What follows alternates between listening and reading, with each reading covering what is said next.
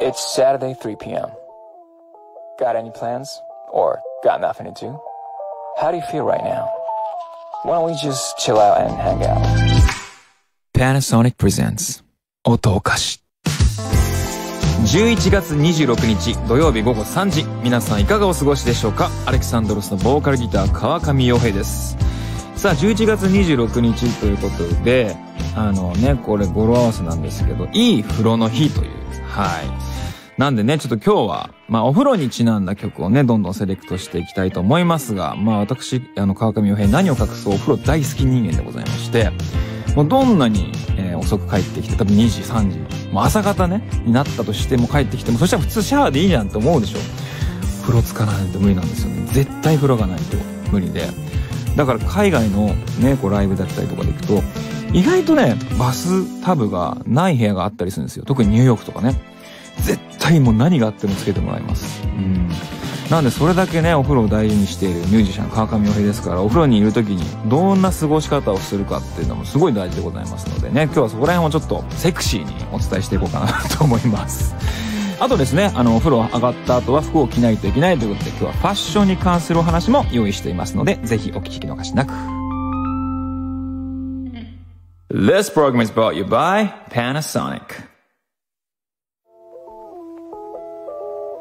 洗濯物を部屋干しすると生乾きの匂いが気になります。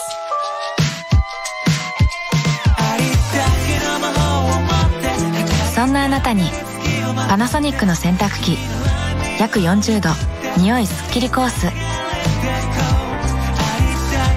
繊維の奥まで洗浄し洗濯物に残った匂いの元まで洗い落として生乾き臭を抑えます部屋干しにぴったりなコースで信じられる選択を。Panasonic Panasonic presents 音おかし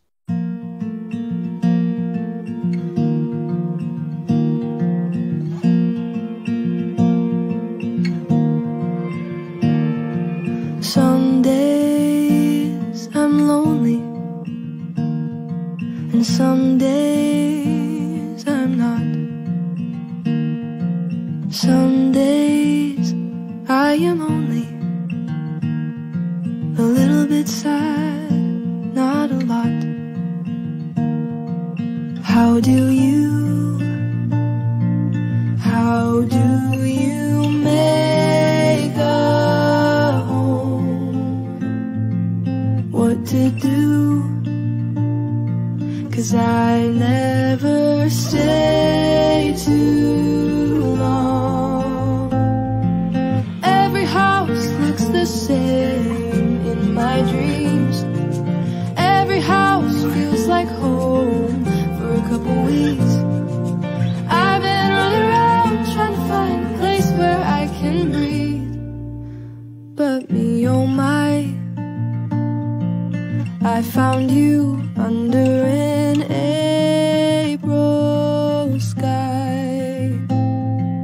And you feel like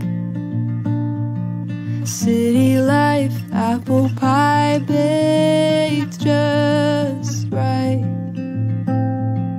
Home is wherever you are tonight アレキサンドロス川上洋平が東京 FM をキーステーションに全国38局ネットでお届けしている Panasonic Presents 音おかし。本日はいい風呂の日ということでバスタイムにぴったりな楽曲。1曲目はディズニー・マクアルパインで Apple Pie。いかがですか皆さん？いい風呂の日にぴったりな曲だと思うんですが、うん、やっぱアップルパイ食べたくなっちゃいますね。このタイトルで来ると。そしてこのリズイマクアルパインのこのね、優しい、そしてなんかこう、儚げなね、雰囲気がですね、このお風呂タイムをね、えー、すごく素敵な時間にしてくれるんじゃないかなと思って選曲してみましたが、いかがでしょうか？レズイマークアルパインはですね、結構ね、あの、この音をかしてもよくかけてるんですけど、実は TikTok で、まあ、上げた、えー、動画がすごいバズって、すごい人気になってっていう、すごい今時の売れ方をした方なんですけど、その時に、の、えー、曲が、まあ、自作の曲で、えー、1975、アーティストの1975を彼氏に教えてあげたと。そしたら彼氏がめちゃめちゃハマっちゃって私にあんまり振り向いてくんなくなったらどうしてくれんの1975みたいなね。すごい可愛くないこの歌詞。とか、まあ、あの、この今回のアップルパイっていう曲だったりとか、前だとね、あの、Pancakes for Dinner とか、なんかさ、タイトルだけで、あの、ああんま英語わかんない人でも、なんか、ちょっとこの曲聴いてみようかなとか、何言ってるかわかんないけど、なんかアップルパイの雰囲気が伝わってくんな、みたいなさ、そういう感じを、タイト付けがすごい素敵なアーティストだなと思います・すごくね声も素敵だしパフォーマンスも素敵なアーティストなんでぜひねライブ動画とか見てほしいなと思います。さあ続いてバスタイムにぴったりな楽曲こちらいかがでしょう？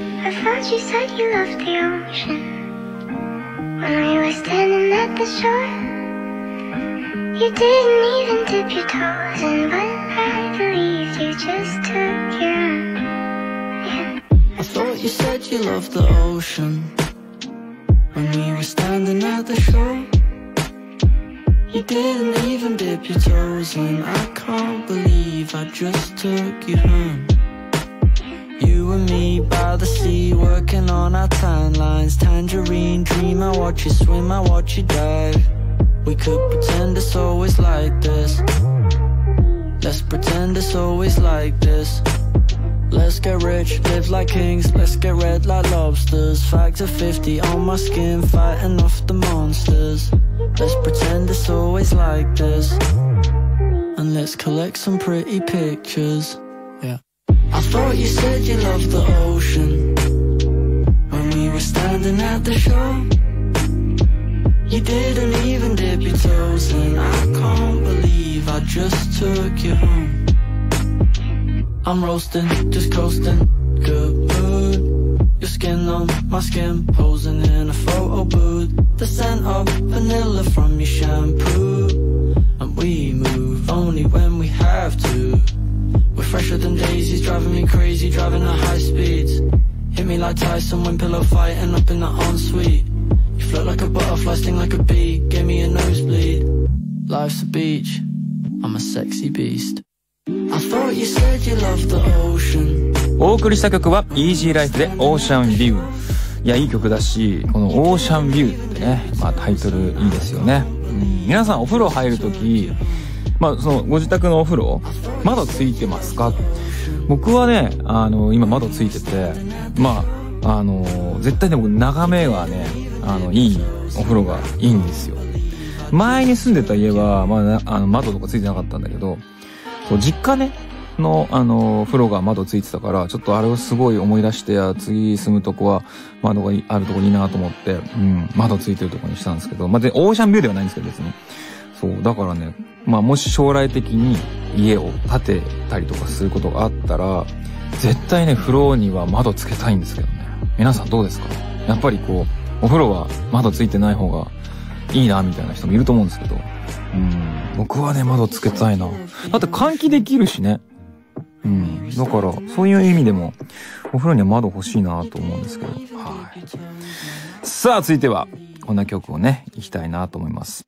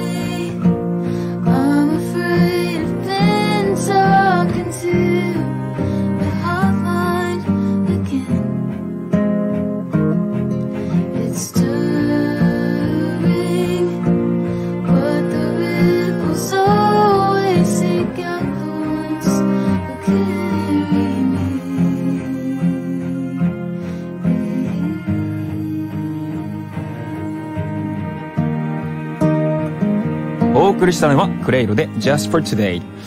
まあ、このいい風呂の日にぴったりなアーティストいくつかいると思うんですけど、多分この方が一番ぴったりなんじゃないかな。やっぱね、お風呂の時間はあんまビートがね、ない方がいいのかなと思ったりしてて、もう声とアコギ一本だけとか、ストリングスとかだけでいいのかなと、こうね、やっぱりこう漂うような雰囲気がね、欲しいから、ビートがあるとね、やっぱ若干お風呂の中でこう乗ってしまってお風呂入れちゃうよみたいなね、そんな感じもあったりするので、なるべくビートがない方がいいのかなと思ったんですけどね。まあそういう意味ではまあ、フレイロちゃんとか。あとはね、やっぱ本当の本当の本当は、ブライアン・イーノ？アンビエント永遠にかけてるっていうのもありかなと思いますけど、まあちょっとラジオ乗りがね、あんまよろしくないかなと思いますので、えー今日はこの3曲にしてみましたけど、皆さんどういうお風呂タイムを過ごされてますかね？僕はあの、もう真っ暗にして、キャンドルを、えつけて過ごしてるんですけど、それを言うとね、うわ、なんか、まんまですね、みたいな感じで見られるんだけど、でもやっぱ、お風呂は、やっぱ一番リラックスしたい。下手したら寝る時よりも、リラックスしたいかもしれないな。うん。まあ、いろんな過ごし方あると思うんですけど、皆様どんな過ごし方をされますかね。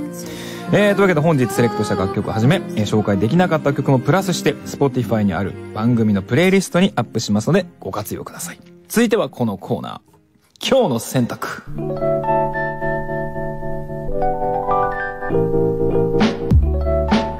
々アレキサンドロスも CM に出演しています、それぞれの選択。普段は皆さんから寄せられたリクエスト曲を私が選択するというコーナーなんですが、11月最終週の本日は、選択は選択でもお選択の方、ファッションの話をしたいなと思います。さあ今日はちょっとですね、リスコムのトピックに寄せられたこんなお悩みがありますので、ご紹介しましょう。ジュエルさん。秋はおしゃれを楽しむイメージがあったのですが、今年は楽しむというよりも振り回されている感じです。去年のお気に入りの服に興味がなくなる感じ。あー、なんで振り回されてる感じなんでしょうね。去年のお気に入りの服に興味がなくなってしまうという悩み。でも、それはむしろ新しい服にこう手を出すチャンスでもあるのかなと思いますけどね。よくある話が、去年買った時はあんまり着れなかったんだけど、今年、その出してみたら、あれ？これ意外と着やすいかもみたいな、っていうお話よく聞くんですけど、ちなみに僕もそういうことなんですけど、そう、去年買ったばっかの時はなんかあんまこれ買ったはいいけど、なんかあんまちょっと合わないかなとか恥ずかしいかなみたいな感じがあって、でも今年になると、あ、着れちゃうなみたいなとこあるから、うん、だから意外とだから今年買ってその場で着るみたいなことが、なかなかなかったりもするんですよ。だからね、ジュエルさんは、チャンスじゃない？新しい、うん、今の服を、うん、あの、着るチャンスだと思いますけどね。うん。あと、この前も全然ちょっと話変わるんだけど、リック・オーエンスってブランドあるでしょ？リック・オーエンスさんの、なんかインタビューを、えー見たんですけど、あの人は、ファッションブランドね、のデザイナーなのに、家のワードローブに1着、2着ぐらいしか服がないんですよ。うん。もうそれをね、もう10年も着てるんだよね、みたいな。すっごくミニマムな、うん、あの、暮らしをしてて、あ、そういうのもいいなと思って。で、家の紹介だったんだけど、それは基本的に、その動画は。もう本当にもう美術館かってぐらい生活感がなくて、すごい素敵な家だったんですよね。まあ、まだ俺がそこの、そういう生活をするのは早いのかなとは思いつつも、将来的にはもうなんかそういうものをほとんど減らすみたいな生活憧れるかもしれないなと思いましたね。うん。そうですね。だから本当は断捨離というか、まあ去年の服はもう去年。うん。で今年はもう今年の服っていう感じで、いいんじゃないかなと思います。だから去年お気に入りだった服に興味がなくなってもいいと思います。うん。だから今年だからそれで買い物するチャンスができたと思ってね。うん。ただまあ、なんでしょう、やっぱお気に入り何年も着続ける、えー服、履き続ける靴があってもいいのかなとは思いますね。うん。なんかその、まあ、アクセサリーとかはね、まあ、その、多いと思うんだけど、服ってね、なかなか、やっぱりそれが、まあ、若干恥ずかしかったりとか、あ、また、あの、コード着てんだとかさ、あの、言われたりとかもするかもしれないし、特に、あの、僕みたいな商売だと、わ、川上さんまたあのコード着てるみたいな、あるんですよ。うん。でも、なんか、その、それが一つのアイコンになったりもさ、したりもするわけで、うん、例えば2年ぐらいだとそれはないかもしれないけど、3、4年ぐらいそれを着続ければ、あ、もうあのコートといえばあの人だよね。あのハットといえば川上洋平だよね。みたいな、そういう風になっていくといいのかもしれませんね。だからしかもそれをやっぱりお手入れとかもしっかりするだろうし、大事にもするだろうから、うん。やっぱそういう服だったりとかってのは一つ持ってても素敵かなと思いますけどね。うん。さあ、そんなわけで、全然そんな話とは関係ないんですけど、はい。この曲を久々にかけたくなりましたので、かけようかなと思います。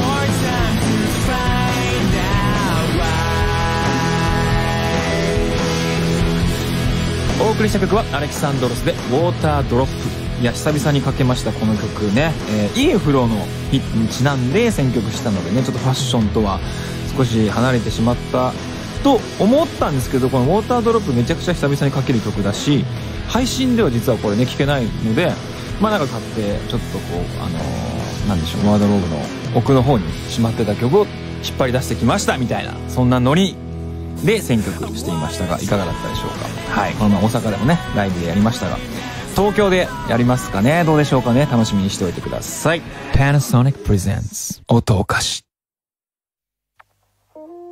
近頃洗濯の回数が増えて洗剤や柔軟剤にまつわるストレスも増えているそうです。そんなあなたにパナソニックの洗濯機。洗剤柔軟剤自動投入。面倒な計量はお任せで入れすぎの心配もありません。トリプル自動投入ならおしゃれ着洗剤も入れられます。今こそ自動投入で新しい選択を。Panasonic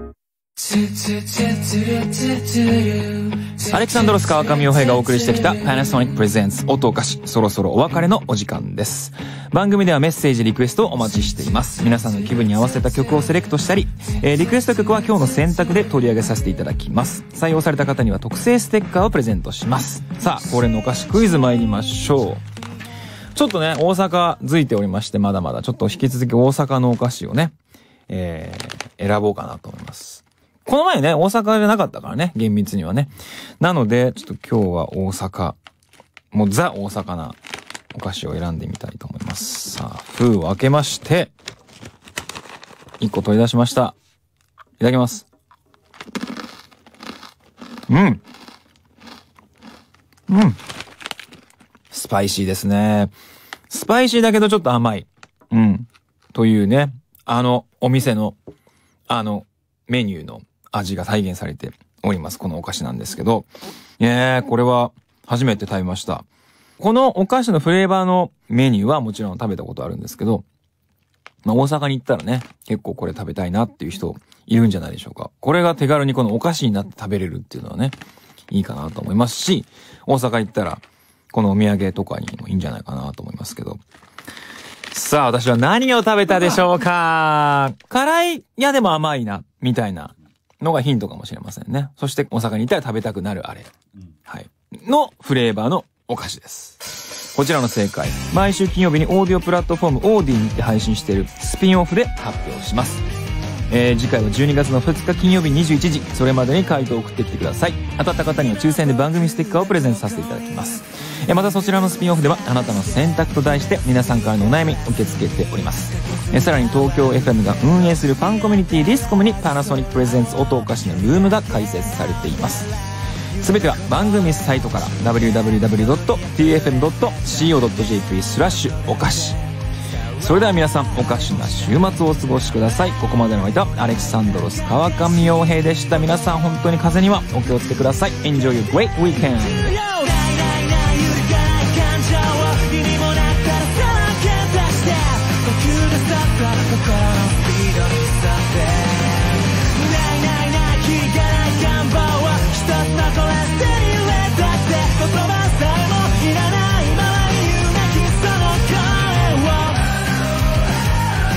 Program is brought to you by Panasonic. 何